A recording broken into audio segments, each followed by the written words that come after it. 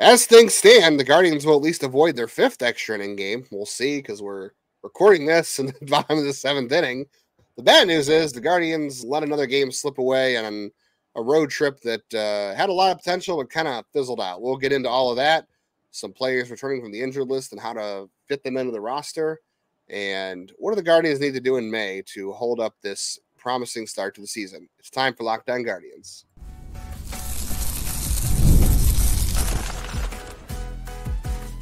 You are Locked On Guardians, your daily podcast on the Cleveland Guardians, part of the Locked On Podcast Network, your team every day. Hello, everyone, and, and thank you for coming to the show today. thank you. Thank you.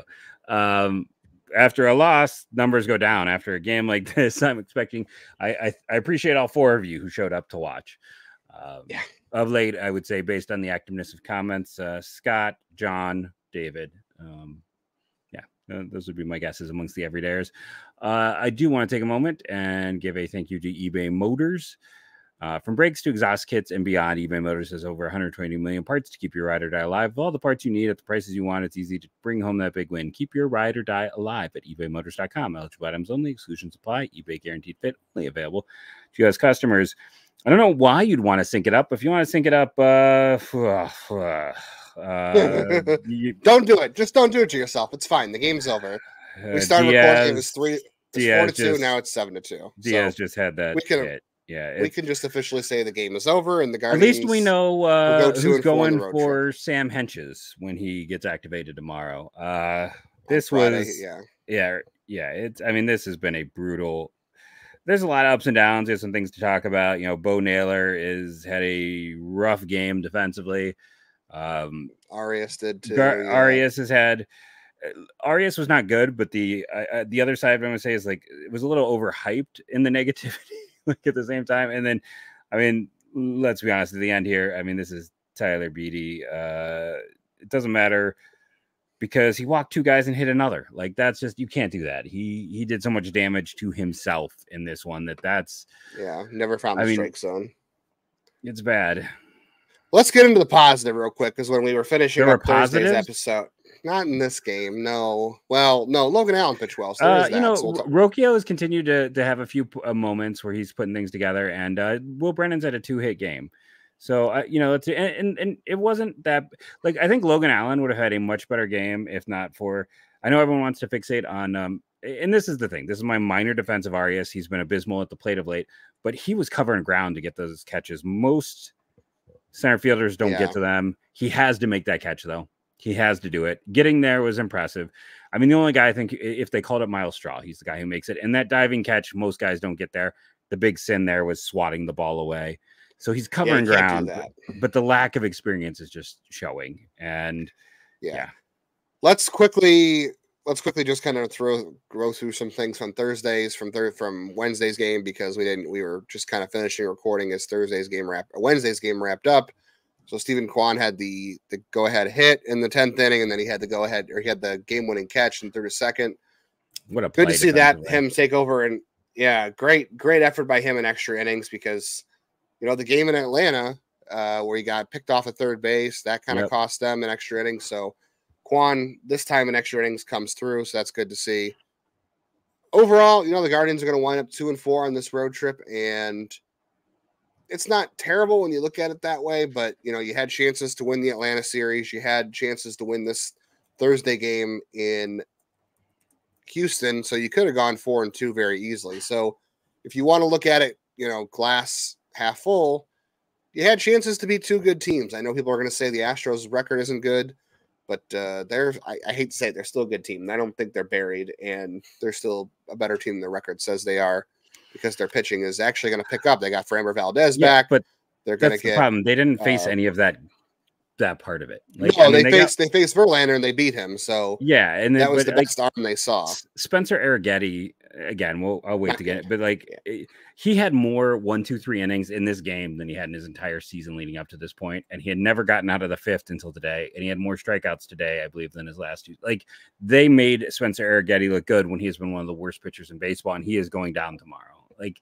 that is that's also a part of it. Like they they it, it was a poor game. It was just a poor game in, in about yeah. They had aspect. three walks. They had three walks against him. They certainly had their chances. They didn't put a lot of good balls in play. I like that, John and- Singleton. Like that was almost a a bat flip on a sack fly. Mm. So yeah, so not not a good finale. Again, ha- glass half full. You could say that you had a chance to go four and two against two good teams on this road trip, and then you know, glass half empty is you did a lot of things that were frustrating to to blow those chances that that weren't great. You know, the Hargaddis thing, the Bo Naylor issues, the defensive issues overall in this game. Not The just even offense. Like they didn't have enough well, offense. yeah, you're week. not going to score. You're not going to beat the Astros scoring two runs. Not in this ballpark. Anyway, they, they they got three runs on Wednesday, which was you know lucky that got them a win. So I will say, at least the starting pitching is coming around. I thought Logan Allen looked pretty good. Now Pedro Avila just hit somebody. That's great. Um, this inning's just never going to end. Maybe David Fry will pitch the rest of this game. I kind of I wish they Um, just gone to Gaddis here. Like he needs to get try to get the yips out or whatever it's wrong. Like but this is about as low impact as you can come. It is. So Logan Allen looked pretty good, and you know, obviously we talked off air about how Bo Naylor cost him some extra pitches a couple times, so he really could have been better than his his final line suggested. So on this road trip, you got Tanner Bibee with the best start of the year by any Guardians pitcher, going seven innings. You got a great start by Tristan McKenzie, even though he got hit hard a little bit. I think we're going to take that as a win that he got seven innings and he looked strong.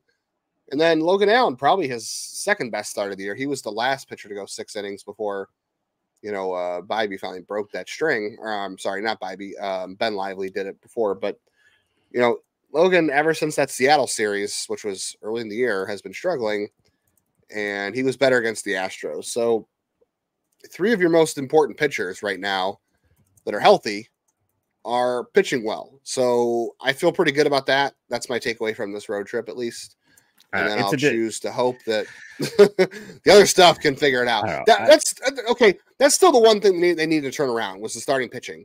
The fact that you're that Bibee dominated a great Atlanta lineup, and Allen and McKenzie both look good against a good Houston lineup. but it's it's a half a good as a- lineup as a with good step. Houston. It's like it's still half of a good lineup. The bottom half is not great. Uh, to be honest, once It's you get past their- they faced so far this year, and, and no, the guy struggled. no, no. I mean, like they've faced, they've struggled against uh, better lineups, and they've struggled against Who? worse lineups. Who? But this Houston team, Who? What better I mean, lineup have did they to- play? Come on. I would have to go look. But this Houston lineup, uh, Bregman's been abysmal. You have, you've got Tucker, Jordan's in a down year. I mean, it's not a good lineup. They're short Chas McCormick. These aren't. This is not a good team. This is not a series. having I a bad year anyway. But I mean, they are they're beat up. They're bringing guys up who aren't even high end They prospects. have not faced a better lineup than these two I, yet. I would I would have no to go dig it up, but this the White Sox. Oakland, the I mean, uh, those the aren't good, but I mean, Mariners, the Mariners lineups are terrible. Come on, I, Boston's is not lineup's not good. We know that. I mean, the Mariners lineup. uh, Mariners are first in their division. I mean, there's it's they Mm. have four good hitters, four good hitters. and That's not a the great Astros lineup. Like, also the Astros also have five great hitters. So it's like uh, five great hitters. I, I Altuve, say I'm I'm still counting Tucker. Alvarez, Tucker, Pena, Diaz is hitting well. like getting, hitting well this year. you were They're- you had, you had the well. best record They're in hitting- they're hitting well. baseball. You go two and four. It's disappointing. You have Oh, to no, play I'm not better. saying that. No, It's I'm I, not I saying can't it's take not disappointing. positives. I'm not I saying it's can't- I'm not saying it's not disappointing. I'm saying Yeah. that the starting pitching it it, stinks that the starting pitching got better on this road trip, and you only went two and four because that was the one missing component so far besides Jose Ramirez. But I still think that Atlanta and Houston have good lineups, and your starting pitching got better. Atlanta so hopefully, does. yes. So hopefully you can parlay this into something better against the uh the Angels who are have a terrible lineup, the Yeah, Tigers I who mean- have a streaky lineup. You you don't you don't face another good lineup until you face Uh, Texas. I, I so like that Tigers lineup quite a bit. Um, they're they've struggled this year. They've I, I, I haven't dug deep. I'll be honest. I have not dug deep. good. I have not dug deep. I'll just be honest It's on that. it's right. It's Riley Greene and and uh, Mark Canha. That's been it. but um, like in general, the problem is like the starting pitching's been better, but the bullpen's not. Like the bullpen is definitely, you know, which is mostly two guys, but we'll have Just to see how it goes. and Gaddis and, and yeah. Beede, but it's in the off in 'cause he's low the the, right the hitters have not done as well. Like N- Naylor, you know, is is yeah. had some struggles. Qu- Kwan has been fantastic. He's he's kind of saving the lineup. We've seen nice rebounds with with Rocchio, but it's Bo Naylor is getting worse somehow. Like the starting pitching, I agree. I agree. It is that is a nice thing to see some guys hopefully settling in. Um, you know, Logan Allen, I think could have been even better tonight if the, they they made him throw 20 mm-hmm. extra pitches through defensive misses. Yeah. You know, it's like he he would have been there. I totally agree with you on the pitching, but I feel like some of those things we are counting on the the offense has not been there. We haven't seen that offense. No, it hasn't, the other series, and then um, yeah, I mean, I, am not gonna nitpick the bullpen. It's been two dudes, so I'll, I'll, pull back that statement. That was a poor statement by me. Yeah. But I, I, am a little worried about the offense because again, Houston's pitching isn't good, and their bullpen has yeah, struggled this hit, year. And Arrighetti didn't hit Arrighetti. They did. I will say the offense on Tuesday did. They lost that game. The offense did come back from an eight three deficit off of Rafael Montero, who's been really good. That true. So Very true. That was that was a good thing to see. So it was an inconsistent trip offensively, I will say. That's that's probably the best you can say about it. So uh, it was a promising road trip, and it, it kind of fizzled out, which says, you know, we had higher expectations now based on their start, which we talked about a couple days ago. So yep. that's kind of where the Guardians are at right now. The Guardians are getting some people back off the injured list, both in the major leagues and the minor leagues. We will talk about that. We'll talk about what to do with Bo Naylor and the rest of this game and what needs to happen in the month of May for the Guardians on today's Locked On Guardians. The Guardians are looking for all the pieces that are fitting to their roster to make things back to what they were a couple of weeks ago after this uh, tough road trip. Same thing you're doing at eBay Motors. Passion, drive, and patience are the winning formula for championships. What keeps your ride or die alive? eBay Motors has everything you need to maintain your vehicle and level it up to peak performance. Superchargers, roof racks, exhaust kits, LED lights, and more. Whether you're into speed, style, eBay Motors has you covered with over 122 million parts. For your number one rider, rider die, you'll always find exactly what you're looking for. And with the eBay guaranteed fit, your part is guaranteed to fit your ride every time or money back. Because with eBay Motors, you're burning rubber, not cash. With all of the parts you need and the prices that you want, it is easy to make your car into the MVP, the level of Jose Ramirez we expect and bring home huge wins. Keep your ride or die alive at ebaymotors.com. Eligible items only, exclusions apply. eBay guaranteed fit only available to U.S. customers.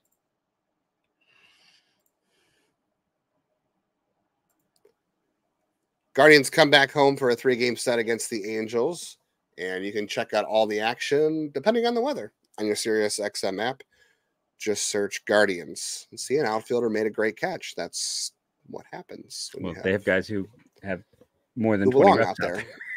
That's but, true. Uh, I shouldn't. Say, I shouldn't say not belong. I think Arias could play it, but I, yeah, inexperience, there. And the the swipe at that ball was just a was not great. So no, he got under that. Uh, I, I, I do want to point out just you know, I, anyone who's going to be like I'm going too negative, like that's isn't that two hits for Giménez today as well? Like nice to see him. And one was with, I mean, he knocked in one of the runs, yeah. right? He had yeah, you know, he had mm-hmm. the good hit early on, right? And I feel like Naylor, we're seeing just some struggle. It's a lot of um swinging it. Yeah, it's like too early it's in a Jose Ramirez pop up stuff that. Yeah, him and him and Josh are both like they both got the just off. Maybe it's not the Oscar Gonzalez. Maybe it's the the Naylor. And normally Naylor can be successful by swinging at everything, but I, I don't know. Like right now, it's I. I'll just throw this out. Um, we'll talk about later. Let's do Gavin Williams.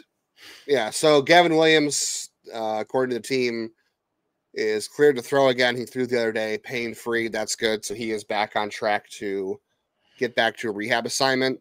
That's good news because we were definitely expecting it was not going to be good. So that's that's yeah, definitely 100%. better. When, I was wrong. Yeah, when we had heard the other day, there was news coming up on that. You know, usually when you have that that planned uh, news the next day, it's not great. But it's very here's what about the Gavin Williams. Three hits for yeah, Brennan. Here's what I'll say to the Gavin Williams thing. Are you ready for Gavin Williams now? Yeah. The Gavin Williams thing, you know, when he was doing his sim games in Arizona, is when he re-experienced the pain in the elbow. So, yes, it's good he threw pain free the other day and he's cleared to resume activities again. He's got to ramp up still, so he's got to go on a rehab assignment. The hard thing with with Williams is I don't think you can really say for sure this is like going in the right direction until he goes out on a rehab assignment and he pitches and he reports no pain. Like that's that's the next step right there. So he is basically back at where he was like you know a couple weeks ago when he was starting his sim game process. So we're probably looking at you know end of May because again he's got to do rehab and he's got to build his arm strength back up to being a starter. So now we're talking about another month here, and you just hope that his first rehab assignment, wherever he goes, he finishes it and he reports no pain. Because other than that, you know, like I said, we're kind of back at square one. Yeah, I mean, platelet-rich injections aren't a good thing. Uh, continual bouts of pain aren't a good thing. Uh, this this wasn't like negative news, but it's also not great news. So it's just it's a waiting game it's it's good news in the sense nothing else was wrong with him. Yeah. It's just I think you have to be you can be cautiously optimistic, I think, that he's fine, but also wait to see what happens on his first rehab assignment. Other guy who is back and seems to be feeling good, at least based on his first start of the year, was George Valera. He had a double and a walk. I think he had two hits actually in his first game for Columbus. Um, just kind of surprising. He was back and he played all nine innings and he was off on Thursday. I know people were worried about he was out of the lineup on Thursday. It was his first game of the year, and he played a full nine innings on Wednesday, so he's fine. But good start for him out there. I mean, the, never had a problem walking. He's always had a good eye for the strike zone, and you know sometimes borderline on passivity. And he's had power. He's just never had the really the hit tool and the health. Those are the two big things for him. The brilliant question for George Valera is, you know, he missed a he only missed a month in April, so you know, not terrible. He definitely needs reps and he needs to to go out there. But you know, the Guardians are sorting through. Will Brennan has been solid. He had two more hits or is that three hits tonight or two hits for Brennan? Three? All right, so you got three hits for Will Brennan, and he's been solid this year. Definitely trending in, in a good direction, I would say. Florial has has had his moments. I just don't know how you, you know, we're already talking about how to work in Kyle Manzardo into this offense which needs to happen very soon. But it's already hard enough to work him in as a first base DH guy. And then also talk about look, George Valera at some point needs to make his major league debut this year because he is out of options after this year. So you need to get reps for him in the majors and get a look at him and see what is next for for him and the Guardians. Like, is he part of the future or not? And you know, again, I shouldn't I shouldn't sit there and say this is hard to make this roster fit, but these because these things tend to work themselves out. But you know, you're playing Freeman in center and Valera's not a center fielder and you're messing around with Laureano and you know, Brennan is good and you've got Fry or uh, Arias playing some outfield. Like it's just weird to see you get so many lefties as it is, and Valera is a platoon bat again, as you know, as Manzardo might be too. So I just don't know where his roster fit is. I again, I assume these things will take care of themselves, but just to be interesting to see what's next for Valera. Like he does need to make his major league debut this year. They do need to get him reps because you know he's out of options at the end of the year. Yeah, it's and you know it's the same issue they have with Noel as well. Um, so well, I'm not it, worried about him because I don't think I know, he's making it at no, this point. I don't. I think. I don't think he's either. I'm just bringing it up because to, to show just how many guys are in that situation, not not to, yeah. for any other reason than that. Um, when you look at where he is and what you need to do with him, it is incredibly hard because are you going to delay Manzardo? Or, um, you know, what, what are you going to do in this situation? I think basically if Valera ends up making his debut this year, then things have gone poorly. Like I think you're not going to force him up if things are going well, because then that means you know Brennan is stabilizing and not being. I listen. I hope Will the Thrill. Uh, he can still steal that nickname from Will Clark. I hope he can stay thrilling and not be this two good weeks, two bad weeks, two you know the consistency. That is that's going to be the trick with Will Brennan is consistency. Um, mm-hmm. But if he is consistent, then you don't have a spot there. Manzardo's got to get the call up before Valera. So it, it, for me, it just those two guys are, you know, it, and Manzardo in particular is a similar. I don't know if I want to say similar profile, but similar concerns, similar positives. Uh, it, I did have to laugh when you said the hit tool is the question because if you really go deep on this team, when Valera was like the big prospect everyone talked about. It's a beautiful swing. He's got a plus hit tool.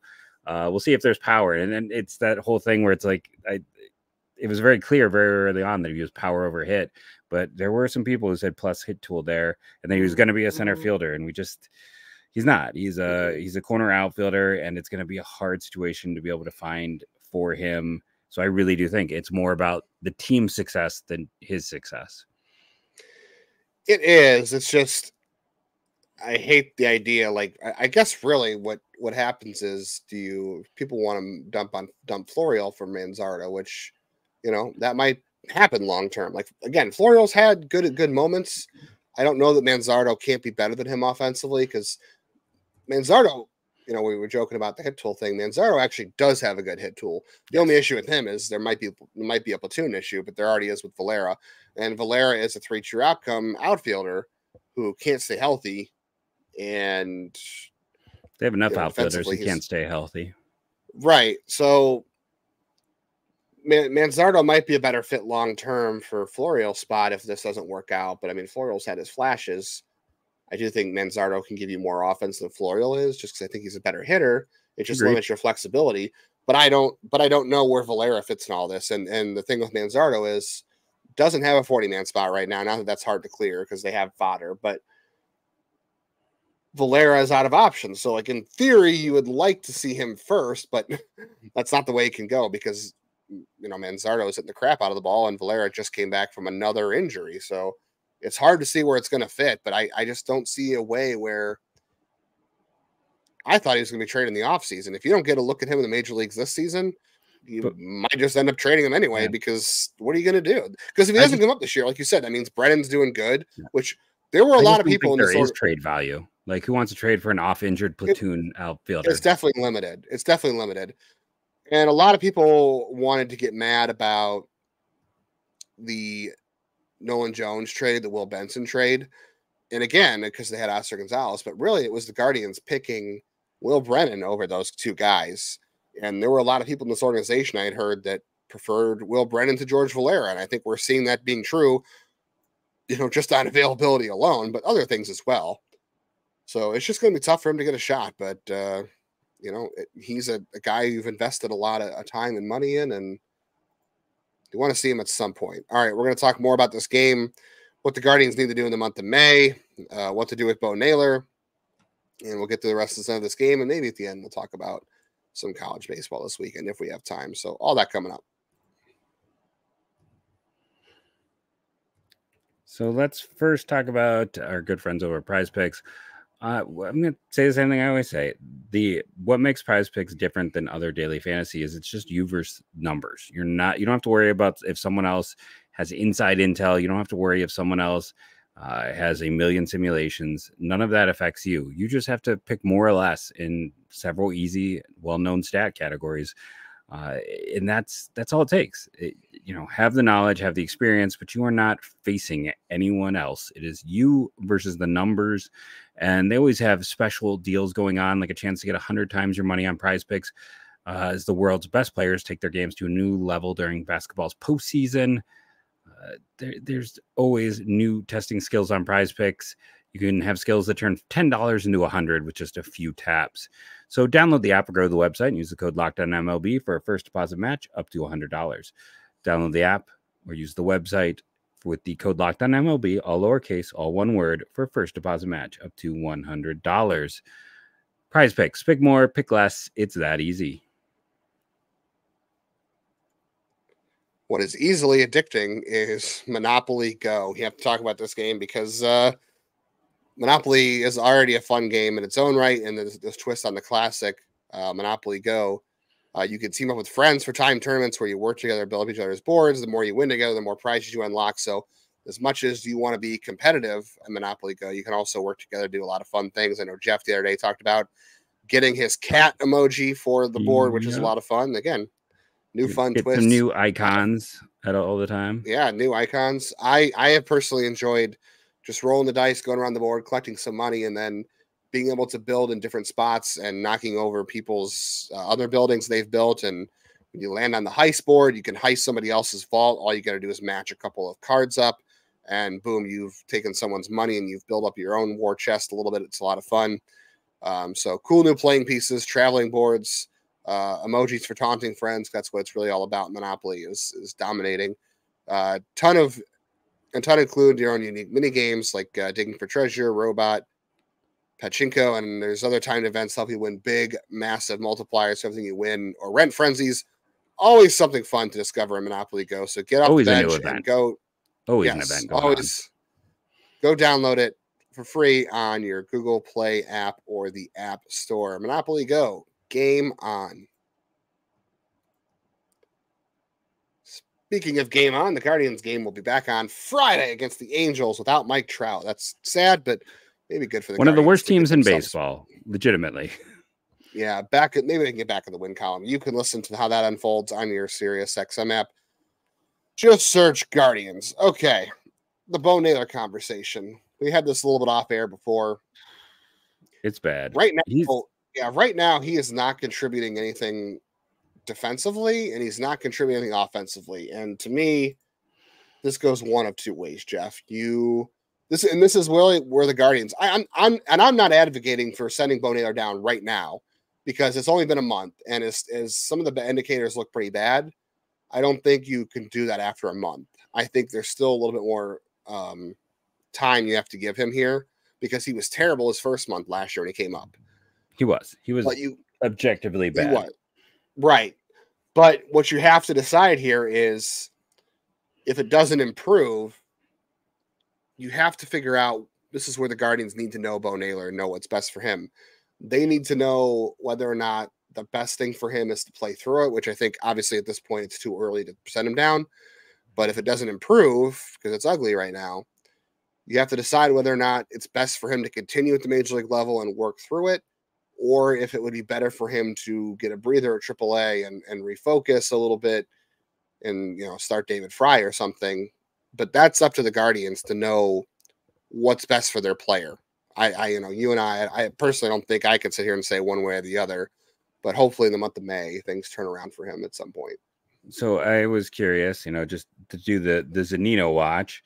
Uh, Mike Zunino, when he was cut last year, had a weighted runs created plus of a 64 and a negative defensive value of 0.3 right now. Whereas Bo, through today's game, a 65. He's got one more point of weighted runs created plus. He's essentially Zunino with, but he does have a positive defense score.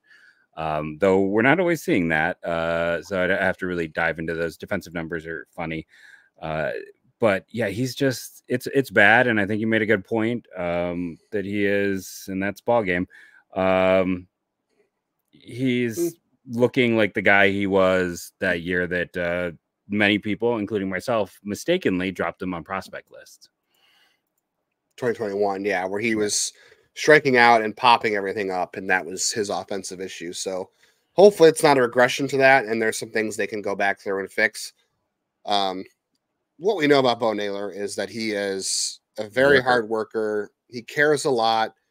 You know, he's obviously very athletic and talented. So you always want to bet on guys like that. So I do think it'll turn around. But again, like like I said, you just have to decide whether or not that if it doesn't, if it's better for him to just work through at the major league level or if AAA is a better option for that, which they don't have a lot of good options. It would just be David mm. Fry. But and uh, I know you so mentioned. Guardians, oh, I just want to throw one other thing out. And uh, you were mentioning, you know, Florial it's again his, his K percentage after today is is over forty percent.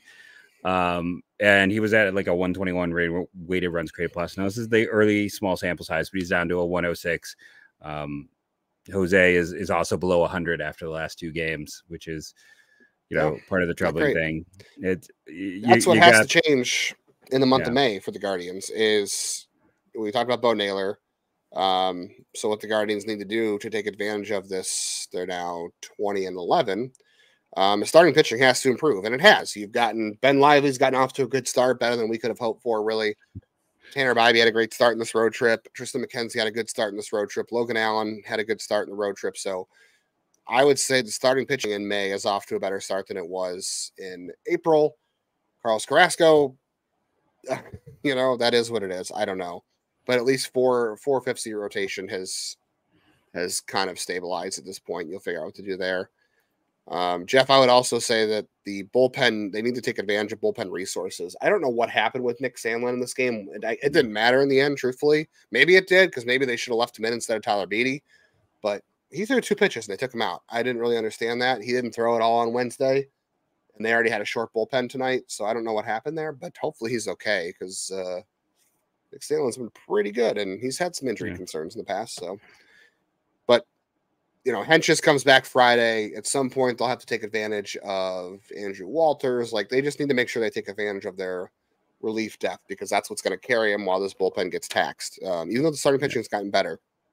And then I would also say the month of May, Jose Ramirez has to get back to being Jose Ramirez.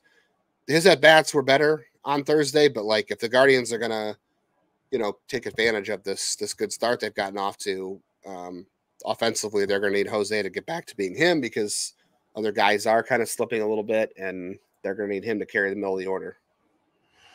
Yeah, you, this team, you know, two of their best three hitters in terms of our expectations are massively underperforming.